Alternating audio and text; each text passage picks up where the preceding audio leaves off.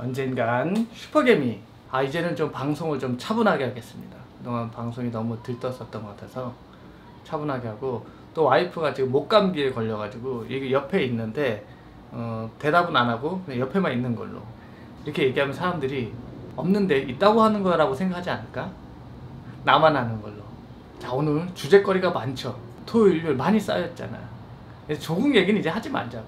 조국 형 얘기는 식상해 형들은 몰랐지만 저는 알고 있었어요. 그냥 그런지 사람은 다 그런 존재예요. 나도 그런 존재고. 그게 아니라고 얘기하니까 우리는 그게 싫었던 거지. 사람은 다 마찬가지인 거야 다 자기 자식 좋은 학교 보내고 싶고 다 똑같은 거야 다만 그런 속을 가졌으면서 자기는 그렇지 않은 척 했던 거 어? 그리고 다른 사람들을 비난했던 거 그게 문제가 되는 건데 그게 사실 화가 날 뿐이지 뭐 우리 미래를 뭐 바꿀 수 있는 건 아니니까 우리가 할 수 있는 거에 집중을 하죠. 예, 지소미아 지소미아는 제가 라이브 할 때도 얘기했지만 저는 지소미아 파기가 안 될 거라고 생각했어요. 거의 확신을 했어요. 내 생각하고 다르게 됐어요. 이거는 좋지 않아요.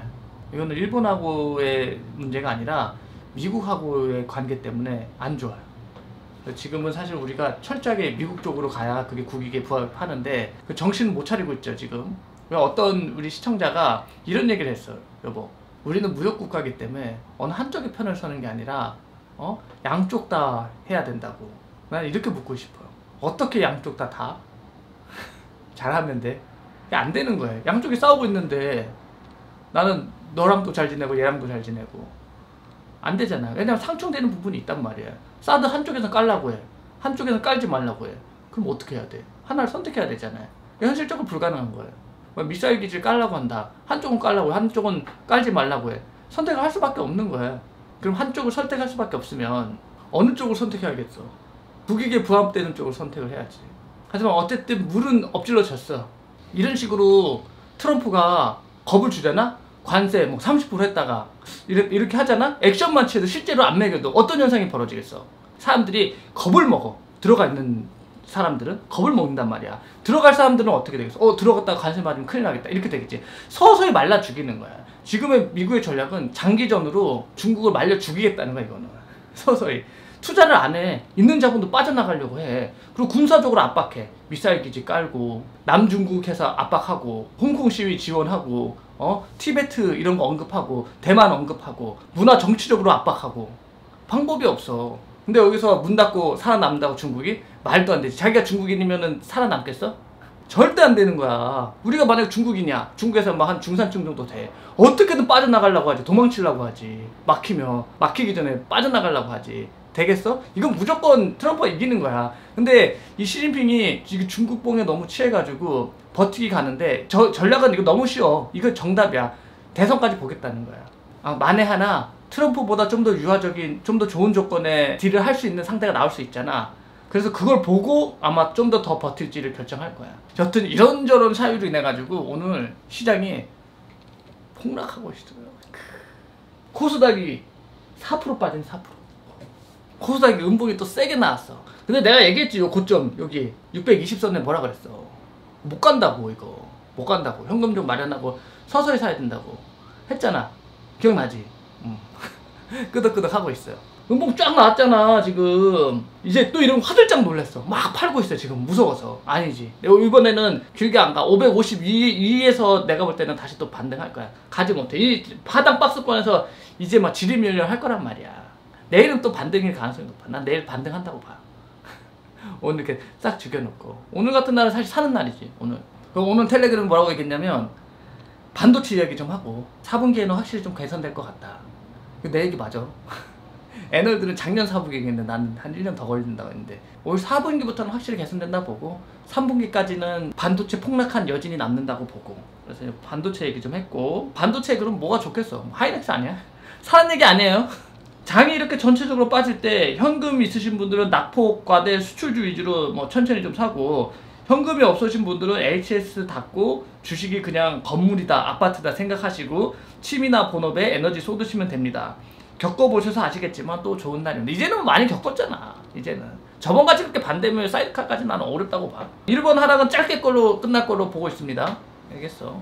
내일이면 또 좀 반등 날 것 같은데. 그리고 이게 언제까지 이런 지지 멸렬할 게 지속되냐면 10월까지. 8월 이번 점 끝났잖아? 그럼 이제 9월 질의멸렬 그리고 10월 질의멸렬 그럼 그냥 포트 조정하면서 세팅해놓고 좀 물 타놓고 이렇게 기다리는 거야. 그러면 한 11월부터 서서히 좀 개선됐다가 내년 상반기쯤 전에 좀 총선 전에 좀 괜찮을 거고 총선 결과에 따라서 다를 거고. 내 얘기잖아 인간을 가장 쉽게 컨트롤하는 거는 두려움이라니까. 지금 이제 자꾸 반기업 정서 사회주의적 정책 때문에 사람들 돈을 아- 주식을 안사.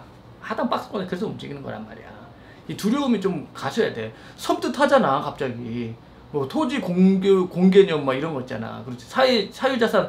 그럼 부자들이 돈을 쓰겠냐? 지금 다 안전자산 다 전부 가 있잖아. 근데 이게 이 두려움이 조금 풀리면은 이 두려움에 있는 자산들이 이 위험성 자산 주식으로 몰려오기 시작하면 엄청나게 날아갈 거야.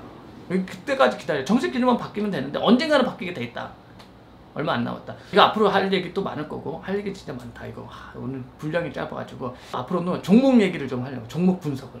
종목 분석 안 하는 이 회사가 어떻다 하는 거. 그래서 그날그날 레포트 나오는 것 중에서 좀 더 좋은 거를 이제 소개를 하는 거야. 아 정치고 뭐 국제 정서거보다도 사실 이게 중요해. 그래서 오늘은 어떤 종목을 가지고 얘기할 거냐면 JW 생명과학. 사는 얘기 아니고. 이런 회사가 지금 이렇다더라. 내가 방송에서 언급했어. 철거 형님 한번 언급했어 혹시 잘못되면 철강 형님한테 뭐라고 해? 나한테 뭐라고 하지 말고. 아, 저기 이번에 그 강연하시던데 9월 20일 날 되게 유명한 분들하고 그거 꼭 등록하세요. 되게 도움 되실 거예요. 가격도 저렴해. 5만 5천 원에 되게 유명한 분들하고 하시더라고요. 철강 커뮤니티 가면 나와 있어요. 9월 달에 그 가서 한번 보시는 걸로 홍보해드리고 안 되면 하여간 철강님 탓으로 중외 JW 중외 근데 우리 얘기했잖아. 우리 지금 환율이 높잖아요, 뭐. 수출주. 근데 얘가 수출 비중이 높진 않아. 수출 비중이 안 돼. 그래도 아예 없는 것보다 좀 있는 게 낫잖아.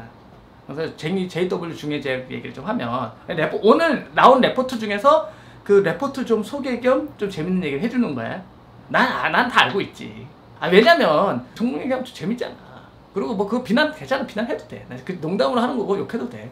이마트로 뭐 오래 살게 됐어. 한 200년 살 것 같아 이마트. 좀 더 오래 살아도 돼. 욕해도 돼. 그러니까 줄여서 JW가 2분기 실적이 되게 잘 나왔어. 상반기에만 156억을 한 거야. 얘네가 근데 시가총액이 3,500억에다가 PBR도 높아. 탐이면은 뭐 제약주 중에서 그 낮은 편 아니에요. 요새 제약주들이 많이 떨어져가지고 높은 편이야. 근데 3,500억인데 우리가 상반기에 150억 되면은 그렇게 싸지 않은 건 아니냐 이렇게 생각할 수도 있거든. 근데 성장세가 좋잖아. 꾸준히 성장세가 좋잖아. 전년 동기 대비 또 성장했어. 그 전년 동기 2분기에 매출을 368억에 영업이익을 57억 했거든? 근데 이번에 420억에 77억 한 거야. 그럼 뭐 매출도 많이 늘고 거의 매출 는 거에서 꽤 많은 부분이 영업이익으로 잡혔지. 그럼 왜 이렇게 좋아졌냐? 보면 얘네가 이제 많이 하는 게 기초수액제, 그리고 영양수액제. 자기 잘 알지 이런 거. 어? 그리고 TPN이라고. TPN 뭔지 알아? 몰라? TPN? 이것도 그냥 그런 영양수액제야. 뭐 포도상하고 아미노산하고 뭐 오메 같은 거 섞여가지고 그냥 좋은 거야. 그냥 먹으면 이것만 잡숴봐. 어, 좀 놔줄까 그거? 사다가? 좋은 거야. 그거하고 HEM이라고 그 인공 투석 하는 거 그거 있어. 그것도 좀 놔줄까? 인공 투석하는 거빵 터졌어. 이번에 빵 터져가지고 여기 형들이 이렇게 앞에 사람 없는데 뻥 쉬는 거 아닌가 했는데 지금 빵 터져가지고 지금 떼고떼고 굴르고 있어요. 무슨 소리 들리나 모르겠네. 참으라고! 참으라고! 이거 재밌잖아 오늘. 오늘 새로운 컨셉이야. 근데 얘네들이 골고루 성장해가지고 8.9% 성장했어 그래서 실적이 앞단에서 잘 나온 거야. 성장세가 좋은 거야. 그리고 좀 전에 얘기했고 그 TPN 있잖아. 6월부터 팔기 시작했거든. 유럽 애들한테는 그 나라 말로 해야지. 이것 좀 놔줬을까? 이것 좀 잡숴볼까? 빵 터졌다 또. 그 애들이 맞기 시작한 거야. 오 좋다고. 땅게 땅게 구다 사이. 근데 뭐 많지는 않은데 8월부터 8월부터 좀 많이 늘고 있는 것 같다. 이 앞으로 이제 늘겠지. 지금 환율도 우리 좋잖아. 그럼 이제 유럽 애들이 싸고 좋잖아. 어, 쓰고 이스바라시 수액 구다사이 하는 거야, 유럽 애들. 그리고 신장 투석 이쪽도 성장하고 신장 투석은 거의 뭐30% 성장한 것 같더라고. 여튼 2분기는 TPN이 조금 부진하긴 했는데 이제 3분기 국내 쪽 돌아서고 그 재고를 좀 많이 1분기에 늘렸나 봐. 어쨌든 2분기 국내 회복하고 3분기에 이것도 좀 더 잡숴봐 세게 하면 매출 올라간다는 거지. 3분기에도 성장한다. 전년 동기 대비해서. 근데 이렇게 원래 수출을 하면 바로 특히 이렇게 사람 몸에 하는 거는 확 늘질 않아. 잡숴보고 좋으면 좀 더 잡숴보는 거야. 이해되지? 그렇게 했잖아. 그리고 중외제약이 바로 가는 게 아니야. 총판을 끼고 그것도 이제 distributor가 있는 거야. 국가별로 이제 또 인증 받고 해서 그 단계가 필요해. 뭐든지 이제 단계가 필요한 거야. 그 옆에 있는 애가 이거 잡숴 보고 이제 또 마음에 들면 또 옆에 니 너도 좀 맞아 먹고 와 하는 거야. 유재가 뭐 배당을 많이 주고 그런 건 아니야. 배당 뭐 2%밖에 안 되니까 그냥 뭐, 뭐 은행보다 좀 난 정도 배당 보고 하는 건 아닌데 어쨌든 회사가 좋아졌어. 회사가 좋아지면 주가가 어떻게 돼? 올라야 되잖아. 안 올랐어. 떨어졌어 오히려. 안 좋아. 몰라 요새 그래 요새 그래. 뭐확 싸진 않아. 어, 그래도 계속 회사가 꾸준히 성장하면 결국은 주가가 반응할 거 아니야. 근데 이게 중요한 게 이거 내가 한 얘기가 아니라 그 애널 형이 한 거야. 혹시 잘못된 그 형을 탓해. 나는 보고 어, 뭐 맞는 얘기인 것 같다. 내가 아는 얘기인데 괜찮은 것 같다. 이렇게 한 번씩 소개하는 걸로 그런 것도 좋아하는 사람도 있잖아. 회사는 좋아지고 있는데 매출도 늘고 3분기도 괜찮은데 왜 좋아했는지 간단하게 얘기했잖아. 교- 복잡하게 얘기하면 이게, 이게 재미없고 이게 지- 지루하거든. 회사는 꾸준히 성장했어. 꾸준히 좋아졌어. 그래서 싸게 사면 항상 이때까지는 수익을 줬는데 앞으로는 모르겠어. 하여간 이 형이 나, 내가 볼때 잘못된 이 형이 나쁜 형이야. 요거는 완전 이제 폭락장인데 이런 폭락장에서 버티고 갭이다 보면 알지? 언젠간 상한가. 아.